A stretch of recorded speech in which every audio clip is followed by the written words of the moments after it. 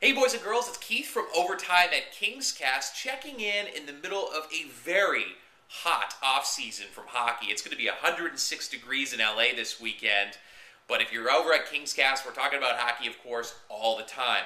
Now, we just shot a brand new episode of Overtime. It should be out this weekend, so look for that. I'm really excited for you to see it. I think it's our best one yet. But what I wanted to talk about today is something a little more serious. Now, I have a little bet with Chris Nadeau over at the Hockey Zen. Now, if you haven't checked it out, the Hockey Zen is a great website for the hockey fan, and they do a video episode every so often. Chris and his brother Adrian.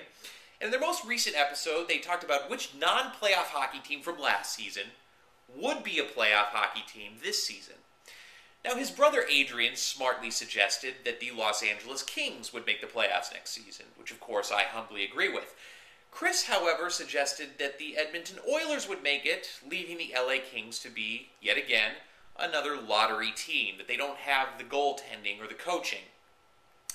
Now, I'm not sure how much East Coast people pay attention to West Coast hockey. I know it is late and people need to get their beauty rest. Uh, you know, uh, hockey here starts at 10:30 Eastern, and you know they're sound asleep, so I get that. But let's recap the offseason really quickly.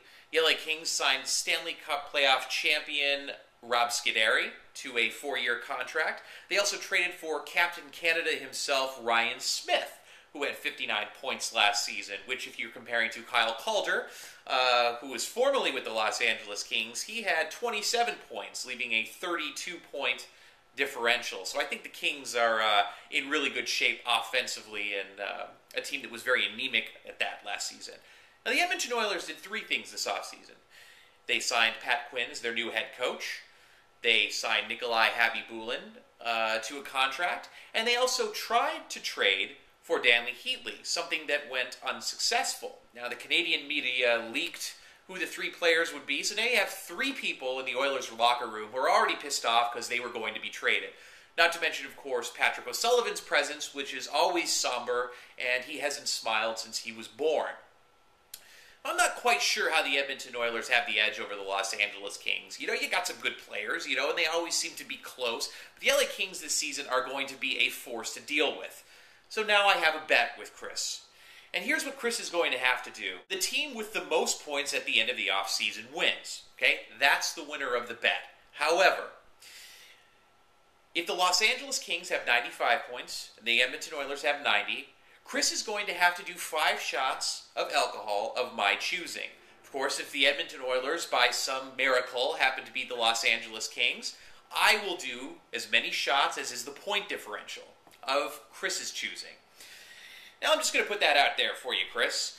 If the Los Angeles Kings win this bet, and they absolutely will, you will be drinking shots, I would say anywhere from five to ten shots of this. That's right, it's cold and it's Jägermeister. Mm, take a look at that. You're going to have cirrhosis of the liver when you are done, my friend. So I'm going to put this out to all my Los Angeles Kings fans out there. Get over to the Hockey Zen and join the discussion. Uh, let Chris know why the Edmonton Oilers have absolutely no shot of beating the LA Kings to the playoffs. And even if they do make the playoffs, the LA Kings will be higher. Also, comment on our site. Let me know where you think the Los Angeles Kings are going to go. I think we are absolutely going to be a playoff team. I think Dean Lombardi's done some great things in the offseason. I think our young players have a year more of experience. The LA Kings are going to be a force to deal with. But that's just my opinion. What's yours?